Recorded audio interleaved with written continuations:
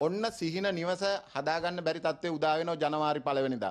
මේ වැට් එක ගහන්නේ 115යි. හැබැයි මේ වැට් එකට තව එකතු වෙනවා තව 103ක්. එතකොට මේ වැට් එක 118 වුණාට පස්සේ සම්පූර්ණ ගොඩනැගිලි ද්‍රව්‍ය වල මිල ඉහළ යනවා එක්කම ඔබ මතක තියාගන්න වැලිවල, ගඩොල්වල, බ්ලොග්ගල් වල සේවක චාර්ජස් මේ ඔක්කොම ඉහළ යනවා. මේ ලිබරල් වාදී නායකයෝ රටේ දේශීය ආර්ථිකය ගොඩනංවන්න කිසිම ක්‍රමවේදයක් ඒගොල්ලන්ගේ ඔළුවේ නැහැ. සංවර්ධන ක්‍රියාවලියට දායකත්වය ලබා දෙන සේවක පිරිස ලක්ෂ 10කට වැඩි අද මහපාරේ ඉන්නේ. ෆැක්ටරි 2000කට වැඩි වැහිලා තියෙන කුඩා කර්මාන්ත ෆැක්ටරි. ඒ වල ඉන්න සේවකයෝ මොකද්ද මේ මිනිස්සුන්ට වෙලා තියෙන්නේ? රුපියල් බිලියන 500ක ව්‍යාපෘති තිබිච්ච රටක් මේක.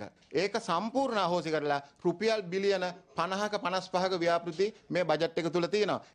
මේ ඩේටා කේබල් එකක් මේ හෑන්ඩ්‍රී එකක් මේ හැම දෙයක්ම මිල ඉහළ යන්න පුළුවන් ජනවාරි වලින් පස්සේ අපි අපේ ව්‍යාපාර කඩන් වැටලා තියෙන්නේ එහෙමනම් රජය ආපහු සමීක්ෂණයක් කළා අපිට ණය ක්‍රමයක් හදාගන්න දෙන්න බැරි නම් අපිටත් ওই සමෘද්ධිය හරි මොන හරි දෙයක් දෙන්න. අපි ව්‍යාපාර වහලා දාලා ගෙවල් වලට වෙලා ඉන්න. බොහොම අමාරුවෙන් හරි. මේ අතර රට තුළ බිත්තර හිඟයක් නැති බව ශ්‍රී ලංකා සත්ව නිෂ්පාදකීන්ගේ සංගමේ සභාපති අජිත් ගුණසේකර පවසනවා. නිෂ්පාදන සංගමයක් වශයෙන් අපි ගොවි ජනතාව දිනුව කරලා ඒවට අවශ්‍ය පාසුවන් සලසලා මේ වෙනකොට උපරිම නිෂ්පාදනයක් ධාරිතාවයෙන් ඔවුන් පවත්වාගෙන යනවා. මම හිතන්නේ ඉදිරියේදී බිත්තර හිඟයක් ඇති වෙන්නේ උත්සව සමයේ ජනවාරි මාසයේ මැද වෙනකොට එවනුනාම මම හිතන්නේ හිතන්නේ අතිරික්ත බිත්තර නිෂ්පාදනයක් වෙළඳපොළට එනවා. දැන් අතිරික්ත නිෂ්පාදනයක් වෙළඳපොළට එනකොට තරංකාරී මිලත් එක්කලා බිත්තර මිල අඩු වේවි. විශේෂයෙන් බේකරි හිමියන්ගේ මේ අවස්ථාවේ ඉන්නවා විශාල මුදලට මිල දී ගන්න බා කබඩා කරන්න බා බිත්තර තියෙනවා.